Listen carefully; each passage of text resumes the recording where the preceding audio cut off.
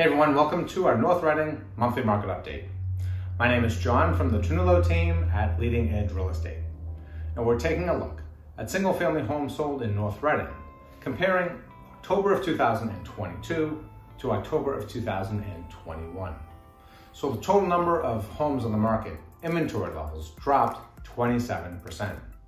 Total number of homes sold also dropped by about 48%.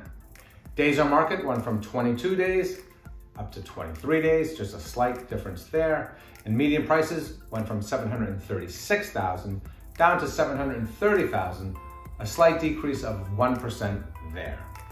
If you're thinking about making a move in or out of North Reading, or simply have questions about today's complicated market, give us a call.